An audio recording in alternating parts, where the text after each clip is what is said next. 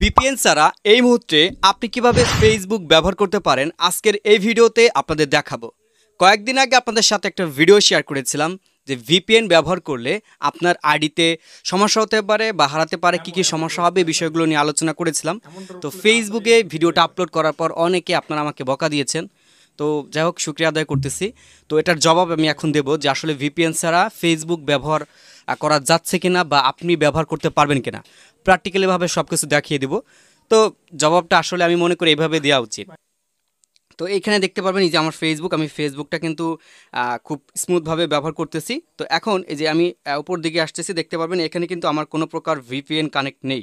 এখানে কোনো প্রকার ভিপিএন কানেক্ট নেই, তারপর আমি কিন্তু ফেসবুক স্মুথলিভাবে ব্যবহার করতেছি। তো এখন আপনি কীভাবে করতে পারেন, এই বিষয়টা আপনাদের দেখাবো। তো এটা হচ্ছে আপনি আপনার ফোন থেকে চলে আসবেন হচ্ছে প্লে স্টোরে প্লে স্টোরে আসার পর এই যে অপেরা মিনি যে সফটওয়্যারটা আছে, এটা আপনাকে ডাউনলোড করতে হবে। আমি এখান থেকে লিখলাম অপেরা মিনি তো দেখতে পারবেন, এইখান থেকে হচ্ছে আমার অলরেডি এই অ্যাপটা ডাউনলোড করা আছে। তো যেহেতু ডাউনলোড করা আছে, আমি আপনাদের সহজভাবে দেখাই। আমার এখানে যে অ্যাপ্লিকেশনটা ডাউনলোড আছে, এটাকে আমি ডেটা ক্লিয়ার করে দিই। টোটালি ডেটা ক্লিয়ার করে দিই। কারণ আমি যদি এটাকে আনইনস্টল করে আবার ইনস্টল করি, তাহলে আমার সময় লাগবে।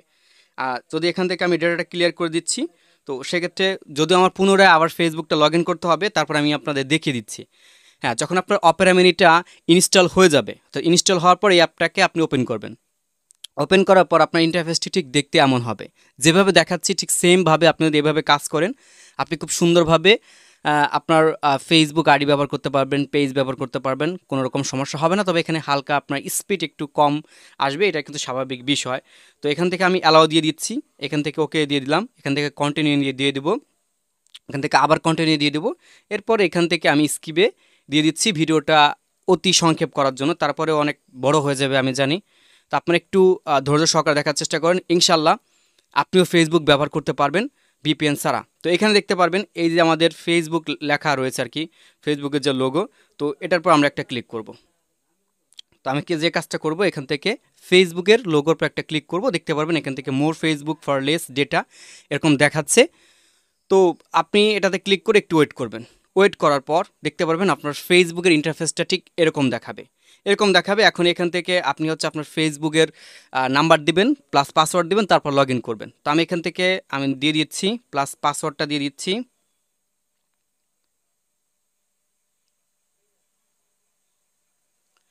তো দেখতে পারেন, এখান থেকে আমি লগ করলাম। তো লোড নিচ্ছে লোড নিচ্ছে, আমরা একটু ওয়েট করি। ওকে তো দেখতে পারবেন, এখন এইখান থেকে হচ্ছে পারমিশন চাচ্ছে।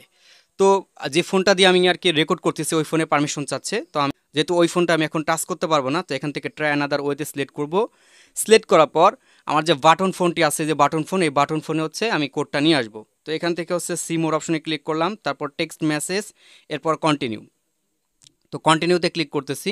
এই ভিডিওটা এইভাবে, এই জন্যই আমি করতেছি প্র্যাকটিক্যাল আকারে, যাতে করে ভাই আপনারা আমাকে ভুল না বোঝেন। আগের ভিডিওতে কিন্তু আপনারা আমাকে অনেকে ভুল বুঝেছেন। এই দেখতে পারবেন অলরেডি কল চলে আসছে। অলরেডি কিন্তু কল চলে আসছে, তো এখন কলটা আমি রিসিভ করি কোডটা বসাই।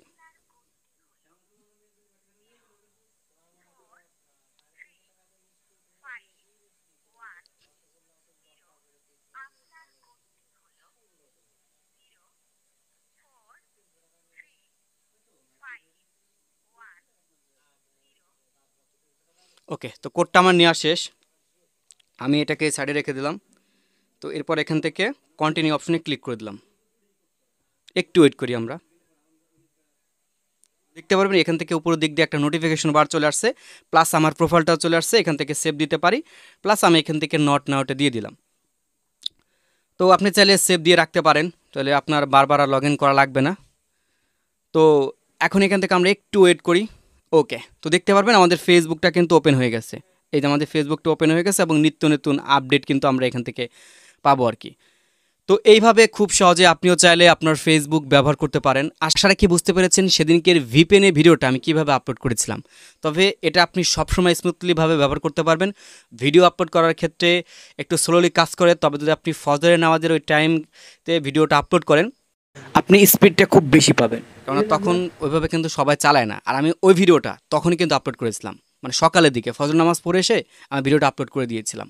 তো যারা দেখেছিলেন আর কি আপনারা খুব সকাল সকাল ভিডিওটা আপলোড হয়েছিল, তো আশা রাখি আপনারা যে ভুল বুঝেছিলেন আমাকে, তো এটা হয়তো বা এখন আপনারা বুঝতে পেরেছেন আপনার নিজের ভুল। আমিও আপনাদের ক্ষমা করে দিয়েছি যারা আমাকে বকা দিয়েছিলেন। তো সকলে ভালো থাকবেন, সুস্থ থাকবেন আর আপনার কাছে ভিডিওটি যদি ইনফরমেটিভ মনে হয় বা আপনি যদি ব্যবহার করতে পারেন, সেক্ষেত্রে অবশ্যই অবশ্যই কমেন্ট সেকশনে জানাতে ভুলবেন না। আর ইউটিউব চ্যানেলটি সাবস্ক্রাইব করে সাথে থাকবেন এরকম নিত্য নতুন ভিডিওর আপডেট সবার আগে পাওয়ার জন্য।